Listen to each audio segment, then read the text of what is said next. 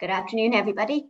Um, my name is Loretta O'Sullivan. I'm Group Chief Economist with Bank of Ireland, and I'm delighted to be here today and to welcome you to this IIEA seminar. We are delighted to be joined by Professor John B. Taylor, who has been gener generous enough to take time out of his very busy schedule to come and talk to us. Professor Taylor is going to provide an address which will ask whether we are entering a new era of high inflation. He'll speak to us for about 20 to 25 minutes, and then we'll go to Q&A, um, which we'd be delighted if all of you would like to participate in. And you can join that discussion through the Q&A function on Zoom. And do feel free to send your questions in as Professor Taylor is speaking, and we'll collate them and ask them at the end. When you're sending your questions in, if you could also please just identify yourself, so your name and your affiliation. And you can participate in the conversation as well in the discussion on Twitter using the handle at IIEA. A reminder as well that today's presentation and Q&A are both on the record. So let me formally introduce Professor Taylor now, and then I'll hand over to him. So John B. Taylor is the George P. Shultz Senior Fellow in Economics at the Hoover Institution and the Mary and Robert Raymond Professor of Economics at Stanford University. He's also the Director of Stanford's Introductory Economics Center.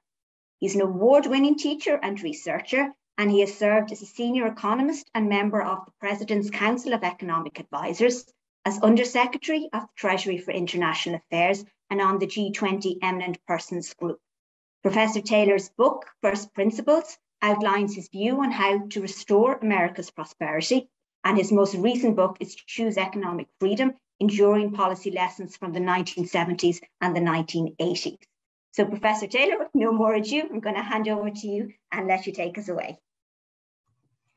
Well, thank you very much, and uh, thanks for inviting me uh, to Ireland, even though I'm in California on the other side of the world almost. But it's a pleasure to be here. I was at the IIEA back in, I believe, uh, 2014, so it's, it's, a while ago. So it's it's good to be back, but it's it's, it's good to be here too. So we're hopeful we get some rain, uh, but we haven't got it just yet. But um, I'm going to use some slides, uh, which, which I believe will come up as I begin to talk here. And the title, I think, is in some sense uh, very apropos uh, of where we are now. Are we entering a new era of high inflation? That seems to be on people's minds more and more. And so I'm going to direct my remarks to that for the first part of the discussion, and I hope we have a good discussion uh, after that.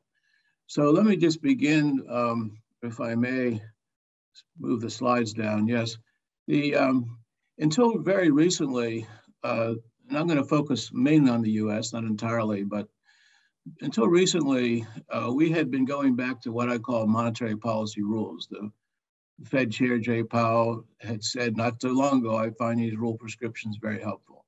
Mario Draghi was then president of the ECB. We would all clearly benefit from improving communication of our reaction functions. And of course, Raghu Rajan was then governor of the Bank of India and said the same thing. But then the pandemic hit and uh, rules were out. Basically, uh, many central banks just forgot them. The Fed uh, didn't publish them. But it didn't take too long before they back uh, early uh, last year, they put back in in the monetary policy report. Now, the monetary policy report is, is issued twice a year in the US, so I look at it very carefully. And uh, so they put it back in, but then just a month or so ago, they took them out again. And I think uh, there's a really a question about why they took them out. And in congressional hearings, uh, Jay Powell was asked by uh, several members, uh, both in the House and the Senate, and he said he'd put them back in. So we'll see if they come back in. But the fact is, why they're in or out has been only really small changes in actual policy. So even though there has been attention paid to the recent moves, it's there's still a gap between what I think a good policy will be, and I'll tend to define good policy by rules, not the only way to do it. There's a gap that exists between them and the actual actions. So this suggests to me that we are indeed entering a period of high inflation unless some sensible monetary uh, policy actions are taken. So that's what I want to discuss. So I'll go to the next slide, which is just a picture on the US of real GDP. You can see it's through the latest quarter we have, the fourth quarter of 2021, we had this incredible hit as many of the world economy has, has done, but we're almost back to normal. In fact, by some measures we are. Uh, but if you look at the unemployment rate, which is the next chart, um, you see um, it's, it's stated here to January 2022, but we already have two more months. It's March 2022, and the unemployment rate is is four is 3.6 percent. So it's come down uh, by 0.4 tenths of a percent since then. So you can see this gigantic increase uh, at the time that the pandemic hit, and it's really uh, really below where it was at the start. So so in some sense, this is a returning to to normal, and and the, the policy is not quite yet. So if we go to the next chart, it shows you uh, where we were right before the pandemic. And this is, a, this is from the IMF. You can see that there was uh, some growth in lots of parts of the world, not all over the place, but it was moving along. Uh, then we then the 2020 hit the next chart 2020. Um, you can see it's all negative basically, except for a few exceptions. Um, and you can see Europe and the United States uh, or down in the negative area. But then in, in 2021, most recent data, you see the next chart, we're back again. And so for the most part, we all see all green, which is great. Um, and so that's a sense in which we are getting back to normal. We hope it will continue. We hope there's not a resurgence of the pandemic. So let me uh, just, with that colorful background, let me go to the next chart and um, just think about monetary policy. M2, there it is, is has it grow, grew rapidly uh, by a big step in 2020. Uh, it's been continued at a high rate since then. So this is one, est one element of monetary ease, if you like, it's, and it's continuing. Um, so that's just a picture. The next picture is another uh, indication of policy. This is the effective federal funds rate which is the main instrument um, which the Fed has focused on. And you can see it just it just picked up in the most recent meeting by 25 basis points. And so that's about where it is now. But it's well below where it was before the pandemic. And of course, well below what it was in other, other times. So this is a sense in which it looks like the Fed is moving back. Uh, other central banks are as well. But let's look at one more chart, uh, uh, which, which represents another element of monetary policy, which is the purchases of uh, treasuries and mortgage-backed securities by the Fed. And of course, this increased a lot during the pandemic in 2020, uh, but it still continued at a, at a pace until this month, and now it's stopped. It's not going to continue. And the real question for the Fed is whether they start to reduce this again there's real questions about whether this has had a direct impact, maybe some questions about that. It's aimed at the longer end of the yield curve, but I think the basic instrument is still is still the federal funds rate. So we'll focus most on that. But this money growth and asset purchases are, are frequently referred to as part of policy. So let's continue the next uh, slide. This is really what people are talking about and really the reason for the title of the talk. And you can see there's been a real resurgence of inflation. Um, these are quarterly data. you can see the most recent observation, this is the United States, of course, is 7.1% in the fourth quarter of last year. It hasn't really let up yet, but you can see it's a huge jump. It's not quite as high as it was in the bad old 70s, but it's getting there. And in some sense, it's, it's really shooting up more rapidly than the past. And it's really has, the Fed has not until very recently paid attention to this. And one of the reasons they're paying attention is it's affecting the world, it's affecting markets more generally. So that's that's the, the sense in which we are entering an era of high inflation, but we need to do something about it. So the next slide uh, begins to think a little bit about why there has been so little action thus far. You see 25 basis points quite low. And one reason was for quite a while, the Fed said, don't worry about this, it's transitory. It was low before the crisis. There's, there's a lot of talk about supply change and spe- special impacts on uh, inflation, um, ships building up outside of harbors and things like that. Um, those are a factor, but it's not the main thing that's going on. It's been more of a distraction. There have been some small changes, as I mentioned a minute ago, the, the Fed has stopped the purchases of treasuries and mortgage-backed securities, but it hasn't undone them yet. So in some sense, the policy rule, which I'll talk about, which I think is, is really getting a resurgence of interest, is not yet part of the strategy. They really haven't talked about that, although they were and other central banks were as well before the pandemic hit. So that's in a sense the rationale for little action is don't worry about it'll go away. But I think now people having real questions about whether it will go away. So the next slide delves into this a little bit more. This is a table, sorry for the detail. This is a table that appeared in the July 2021 monetary policy report. So they do this twice a year.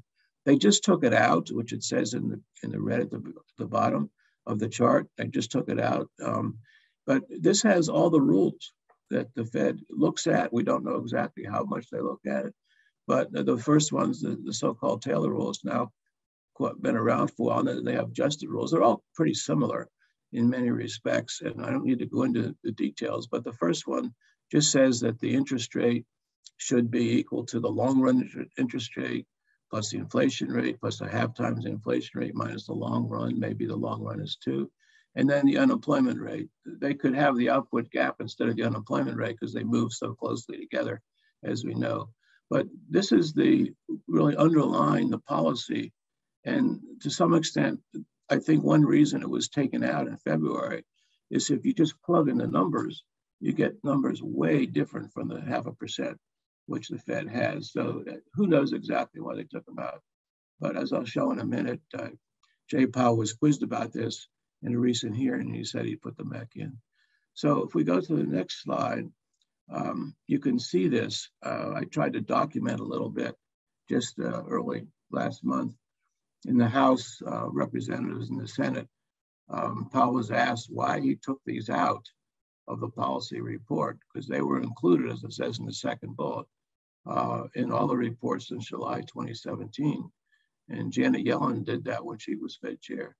Um, now, it's interesting, as it says in the third bullet, this omission occurred at the same time the Fed got so behind the curve, just as the discrepancy between one of the rules that they focus on, the Taylor rule, um, and the actual policy, which was large as it ever been. And so that's why members asked uh, Jay Powell about this, and they brought attention to the to what was missing. And I think this was a good thing to do.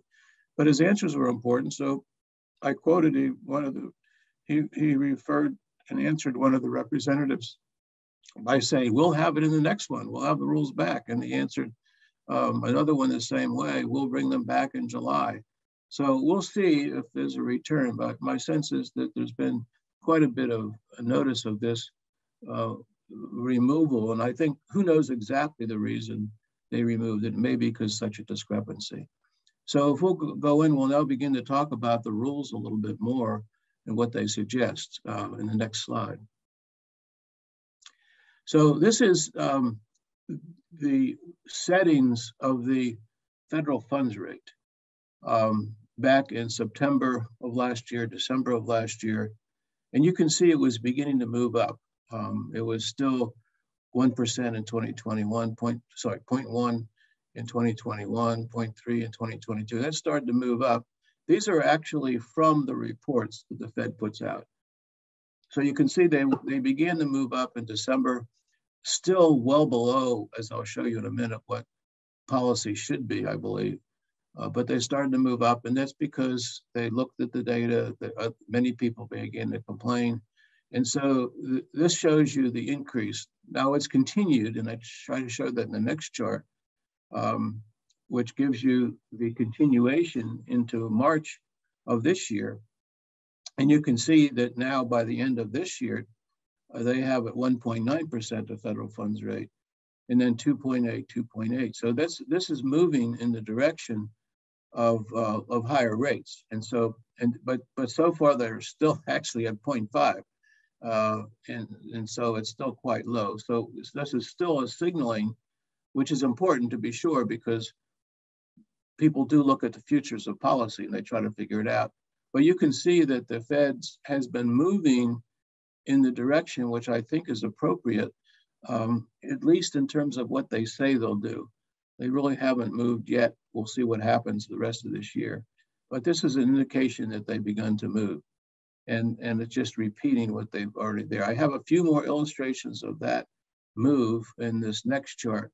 these are the, this is the famous dot plot that the Federal Reserve has used to communicate about its policy. Each dot represents the uh, participant and FOMC members' uh, estimate of where the federal funds rate will be. This is the December release of the FOMC. And so you can see at the end of this year, just 0.9, and then it rose to 1.6, still 2.1, quite below way in 2024, what, what we think it should be. The stars are just the averages of the dots, but the, the dots are the real thing. And this is what the FOMC has done. I believe this is a helpful way to indicate where they, they think they should go. It's, these, are, these are estimates or votes of what each member wants to do. But anyway, this is back in December, so things have changed, and that is illustrated in the next chart. Um, and so, yes, wow, this is quite a change. So you can see in 2022, the dots have all moved up. And so the average is 1.9. So when we say 1.9 at the end of this year, it's that average. And then it goes up. So the, the pledge is that it will go up to 2.8 by the end of 2023, stay that in 2024, and then begin to come down in the longer run. They don't say exactly what that is. But it, see, it seems like the peak is 2.8. And unfortunately, that even if they get to that, uh, the concern is it's not enough. Now, you have to give them credit for moving in this, this correct direction, but you have to worry about whether it's, it's enough or not. so this is really where they are now, both in terms of the, the, the actual dots and where they project they will be at the end of this year, 2022, and into 2023 and 2024. So the next slide begins to analyze this a little more. So this takes a little bit of, of thinking. And so this is the, the dots, uh, average dots, there's stars here for the FOMC in the September of last year, December of last year. And they also indicate this, the rule, a rule, this Taylor rule, which basically just says that the interest rate should equal some constant times the inflation rates plus some constant times the GDP gap or the unemployment rate. So even last year, they were behind by, by any estimate. The, um, and they started to move up. And so that's, you know, it's moving up, but it's still well below throughout. Now, as I'll say in a minute, the red line is a year ago. It's, it's 2021. So assume the equilibrium interest rate was 1%. That seems to be what the Fed has argued. It's using the CBO estimates, Congressional Budget Office estimates of of inflation in the gap, but it's it's uh, it's only up there, you know, 2.83 percent. And um, the, the question is really what it is now, given the numbers I just showed you at the beginning of the talk. So they're behind by this estimate. Now, they the next chart shows you they've begun to catch up. The next chart, yes, there it is. So as of April, this is now plugging in the dots and average the dots over the years, over the, the time period I've indicated. So you can see now they've all gone up. In fact, they're getting close to the red line, but the red line is a year old. And so it's good they're getting in the right direction, but it still seems to be, uh, they still seem to be behind the curve, as I'll show you in a minute. So, but this is, this is, uh, I think, an illustration of they were behind the curve a year ago. Um, if you use year ago estimates, that's the, the red line, they're getting closer. But the real question is, are they close enough? And that's really the topic of the talk. So the next chart begins to delve into that. So this is some algebra which corresponds to the so-called Taylor rule. Um, and by the way, this Taylor rule has gotten so much more publicity in the last month than it's had before, which is good for me, but not so good for the Fed. The, um, the, the number 4.75 is the average inflation rate over four quarters. Um, the 0.5 are just coefficients that I've found to be useful. The 1.6 is the gap. And so it's 6%, so it's well above the 3%. Even if you plug in a lower inflation rate of four instead of 4.575, and you still get a number which is 5%. And so, as you know from the charts, the inflation rate is is way above four already. And so, so in some sense, this is this this is why they I think they are behind the curve. And you, we can talk a little bit, bit about this. There's other estimates besides this rule, but uh, this is the one which uh, has gotten a lot of attention recently. So, so this the main message here is that line I showed you in the previous slide is no longer three. Uh, it's it's higher, maybe five, maybe six percent, and uh, that's what the algebra says. The next chart is a representation that I'm not the only one saying this, and this is a, uh, an example of John Hussman is an economist, uh, same thing from uh, Grant's Interest Rate Observer. It basically looks at the federal funds rate, what it should be according to the rules, and it's the light um, green line, I think it's light green. It says by this it should be over 5%, 6%, maybe 7%. And the blue line is where they were until very recently. They're now at 0.5. So it's still a gigantic gap. And uh, that's what I think is getting people worried. If you look back in history, and, and uh, you mentioned the beginning of the talk, I uh, recently uh, wrote a book with George Shultz. He just passed away, unfortunately. He was, he was 100 years old. But we just wrote a book and uh, we illustrated how the Fed got so behind in the late 70s. And Arthur Burns was the chair then. He said, it's not us, it's other things. And so he convinced President Nixon to wage and price controls. But there you can see it. And in the 70s, there was just the same kind of gap and things, and they didn't uh, make any adjustments. Uh, the wage and price controls were a failure. It really took a policy change in the 80s that made the difference. So that's in a sense, there's a, a, a we hope it doesn't turn out like it did in the 70s, but there's a risk that it will if there's not adjustment. So we'll go to the next uh, slide. And uh, this is just, an, you know, this, these are links if you're interested. These are all the things that I've just noticed in the month of March that have people have been writing about this. The Wall Street Journal and their, in their main uh, editorial, keeping rates too low for too long was ignored except by me. I like how they referred to me. And then they had this, the, uh, one, one of the um, writers has this chart at the bottom, at the bottom, which I just replicated. That's so-called uh, policy rule error. So they're way off. It goes up to seven, five, seven, six percent. And then there's other examples. So this is just a, a handful of all the things that have been written about uh, the Fed being behind the curve. And you can see the headlines, uh, projected rate hikes won't sufficiently tame inflation. Kelly Evans uh, from CNBC, but it's just an example, and there's many others. So I think what this is what this is showing is that yes, we have this academic work.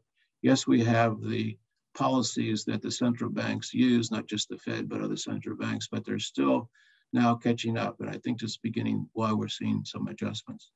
So if we go to the next slide, uh, please, this is kind of a summary of the sense in which the Fed and other central banks are still behind. I'll, I'll, I'll update this in a minute uh, with other central banks. But if you go back to, to July of last year, um, you know, inflation rate was 4%, the gap was minus two.